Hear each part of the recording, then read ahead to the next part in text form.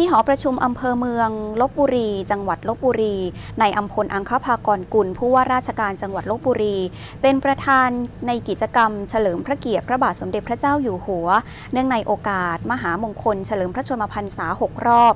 72พรรษา และวันกำนันผู้ใหญ่บ้านครบรอบ 132 ปีสำหรับกิจกรรมนะคะประกอบไปด้วยกำนันผู้ใหญ่บ้านร่วมกันทำบุญตักบาตรพระสงฆ์73 รูป จากนั้นผู้ว่าราชการจังหวัดเปิดกรวยถวายราชสักการะ เบื้องหน้าพระบรมฉายาลักษณ์ กล่าวถวายสัตย์ปฏิญาณตามรัฐมนตรีว่าการกระทรวงมหาดไทย และร่วมร้องเพลงสรรเสริญพระบารมี และเพลงสดุดีจอมราชา